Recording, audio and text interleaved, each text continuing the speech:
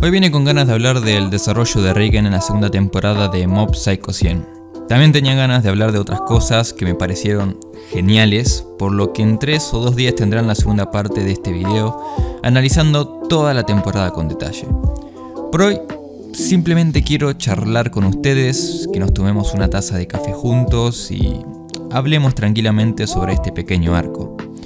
Obviamente si sos de España, por favor, tomate algo bien fresco porque tampoco quiero que te me mueras. que sé que allá hace como, no sé, 50 grados, no sé, están por poco y no se están asando. Pero bueno, me gustaría empezar citando a uno de los grandes pensadores de la historia. Pascal decía que cada persona se crea el centro del universo, porque justamente para esa persona el universo nace y muere con él. El querer ser alguien va de la mano con el querer encontrarse a uno mismo, a la mera intención de saber a qué viene este mundo y si mi vida aportará algo de valor a la humanidad. Camino a tu trabajo, a tu facultad o universidad, verás a cientos de personas que desde tu perspectiva simplemente forman parte del decorado de la vida. Personas que en realidad cada una de ellas tiene una existencia igual de real e importante que la tuya, que se creen protagonistas de la misma vida al igual que tú, y que piensan que vinieron a este mundo a hacer algo importante. Y es básicamente porque todos queremos ser especiales. Reagan sabía que quería ser alguien, pero el problema era que no sabía cómo. Vivía su vida en automático sin saber qué rumbo estaba tomando, consumido por la monotonía, pasando de trabajo en trabajo tratando de encontrar una respuesta. Estaba viviendo por el simple hecho de vivir y nada más. Él no tenía identidad. La ética laboral y la cultura corporativa japonesa demuestra que el gran promedio de los japoneses pasan toda su vida en el mismo trabajo a veces hasta sin lograr ascender de su cargo inicial. Y Reagan desde su juventud sabía que no quería eso en su vida. Nadie cree en él, no tiene amigos y su familia claramente lo ve como un fracasado que debe madurar y conseguir un rol en la sociedad. Todos sabemos lo superficial que puede llegar a ser su cultura, pero un día, por cosas del destino, influenciado por un simple panfleto, un día decide darle oportunidad al trabajo de psíquico.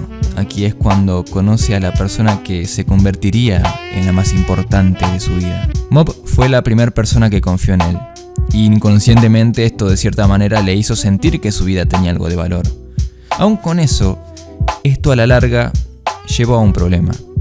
Reagan perdió su camino y se dejó llevar por la abrumadora imagen idealizadora que tenía sobre Mob.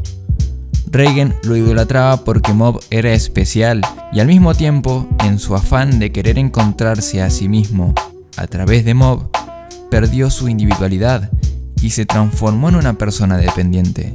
Por eso cuando Mob intenta cambiar, buscar nuevos seres en su vida e intentar socializar y experimentar cosas nuevas, Reagan se asusta y actúa de manera desconsiderada. Porque el que Mob se ausentara significaba el volver a atormentarse con las ideas de su pasado. ¿Quién soy? ¿Qué hago? ¿Qué debo de hacer? Después de su conflicto, Reagan al principio se toma todo con tranquilidad e indiferencia, como si de una relación amorosa se tratase. Se resguarda en su orgullo y cree que Mob volverá a sus pies tarde o temprano. Mob siempre lo había necesitado, por lo que solo habría de esperar. Luego es cuando se entera de que Mob es totalmente capaz de seguir su vida sin él para luego darle un ataque por querer forzadamente traerlo de nuevo a su vida. Pero al final todo termina bien. Al contrario de lo que hacen muchos adultos, Reagan, luego de una larga noche de copas, se levanta con la cabeza en alto y decide transitar por el camino correcto de la vida. Una en la que no dependa de nadie más que en su propia voluntad y en la que sea capaz de vivir sin perjudicar a Mob. Él se da cuenta de que nunca lo había necesitado para su trabajo, se había olvidado de que antes de conocerlo, él ya había sido muy capaz de arreglársela solo. Con una mente positiva y centrada, no necesita a nadie. Reagan es de las personas más capaces que he visto. Trabajador, perseverante, tolerante y energético. Y con todo ello, claramente la vida lo termina recompensando. O eso es lo que creímos. Terminó cayendo en una estafa televisiva y su vida terminó hecha pedazos.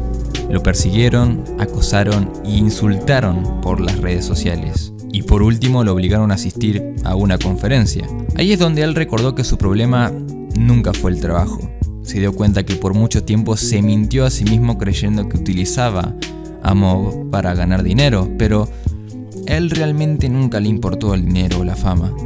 Es más, lo hemos visto rechazar millonadas solo porque creía que el trabajo no estaba bien hecho, pero en realidad solo eran excusas. Él necesitaba a Mob porque era lo que lo hacía sentirse vivo. Por eso en la conferencia él se dice a sí mismo que nunca ha cambiado.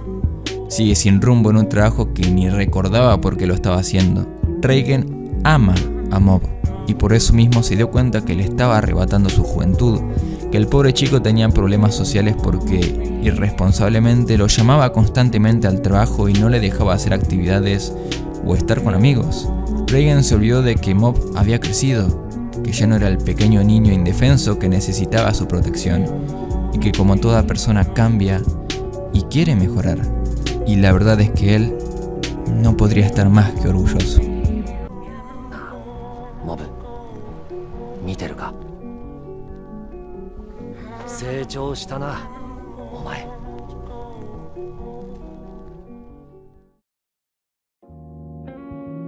Reagan simplemente es un humano como cualquier otro que se equivoca, y creo que por eso mismo es de los mejores personajes que hemos visto este año. Todos cometemos errores, y no podemos dejar que la sociedad nos destruya por ser humanos, porque ser imperfectos es parte de nuestra naturaleza, y vivimos desconstruyéndonos para ser mejores.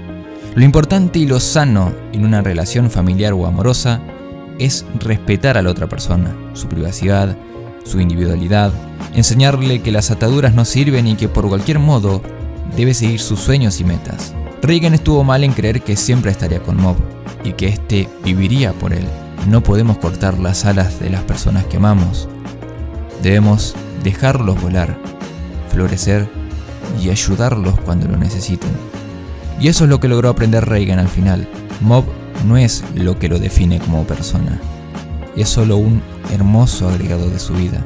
Idealizó tanto a Mob que perdió de vista sus propios dotes, que él también es especial y que nunca se dio cuenta que él tuvo el poder más fuerte de la serie, la capacidad de ayudar a las personas y hacerlas felices.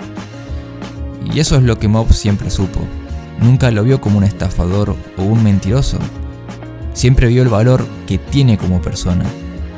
Y por eso está completamente orgulloso de llamarlo su maestro. Todo su conflicto, el estar tanto tiempo separados y su reconciliación logró que Reagan por fin encuentre una respuesta. Él ya tiene una identidad, o mejor dicho, siempre la tuvo. Es una buena persona.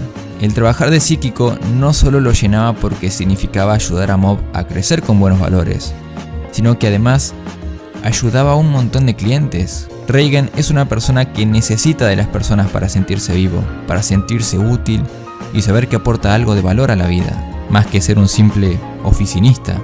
De la misma forma en la que muchas personas encuentran un significado en su vida cuando son padres, Reagan sintió lo mismo cuando Shigeo entró a la suya, porque este le enseñó el verdadero valor que él tiene, que puede ser especial como cualquier persona y que como dice el opening de la serie, Your life is your own. Todos somos protagonistas de nuestra vida, pero el que decide si ser eso o un secundario, eres solo tú. Sal ahí afuera y encuéntrate a ti mismo, encuentra tu identidad y lucha por tus sueños, por lo que te hace feliz.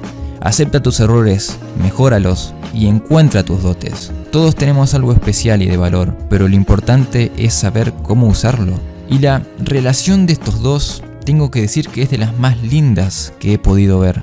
Y como al final ambos terminan siendo dos caras de la misma moneda. Ambos estaban solos en la vida, no tenían amigos y no sabían lo especiales que eran hasta que se encontraron. Mob creo que fue un personaje que actuó de manera muy madura y cuando vio que su relación se estaba volviendo tóxica y que ninguno de los dos estaba creciendo como persona, decidió alejarse.